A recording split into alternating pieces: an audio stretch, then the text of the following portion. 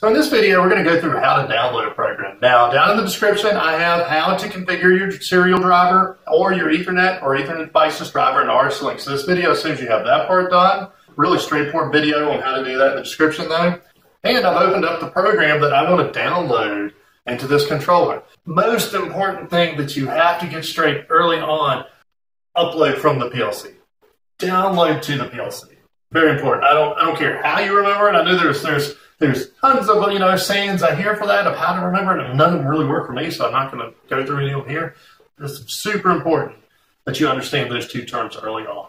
So I have opened up our Getting Started program for the RPLC trainer, which comes from the factory with your trainer. Yeah, this you know, if you didn't buy a trainer, you still have access to this program. You can download in the description. It may be helpful to you. It's a really basic starter program that we use for our basic wiring exercise of teaching how to wire from push buttons to the PLC and from the PLC to our lights. It's just a little test program to make sure everything works.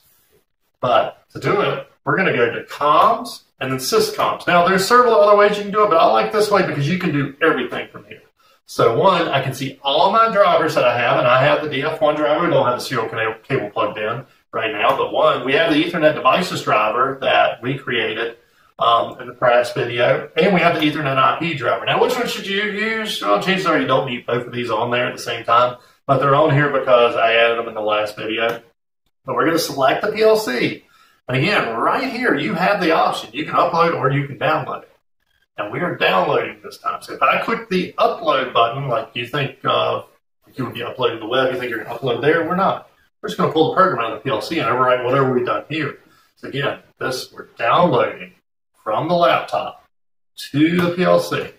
And it's going to say right here, downloading program. Even here, it's not really clear though, but download. And you see that our current project settings don't match, and it's mainly because our Ethernet settings are different in this one, and we are going to go through it. And next is the PLC is in run mode. So PLCs have actually three modes. You have run mode, which means the PLC is running, executing code, uh, reading inputs, updating outputs. You have remote mode, which we'll jump to in a second, because it's in the middle. And you have program mode, which means that we can write programs to it. The remote mode, which is that middle setting, means that your RS Logix 500 can switch modes. And so we have it in remote mode. So we're going to switch from remote run mode to remote program mode. So you quickly download it because we are on Ethernet. And it asks you, do you want to switch back to run mode? So we're going to switch back to run mode. Guys want to go online? Don't have to, but we're going to go online. There you go. And that's it. Your program's downloaded, running, and we're online looking at it. Hi, this is Tim. And this is Amber of TW Controls. We run the automation store. Be sure to subscribe for more great videos. And like this video and comment on what you would like to see next. Visit our website where we offer a full line of PLCs, simulators, control panels, PLC trainers, and more.